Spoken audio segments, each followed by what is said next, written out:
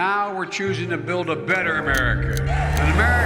An America that's confronting the climate crisis, and we're rebuilding an economy, a clean energy economy. 100% electric. This is a historic decision by the European Parliament. Target of net zero carbon emissions by 2050. Ban on sales of petrol, diesel, and hybrid cars. Petrol and diesel cars being banned. Ban on the sale of new petrol and diesel cars from 2035. By 2035 in the ACT. So from 2030. That's a decade earlier. We're building the future of the electric vehicle.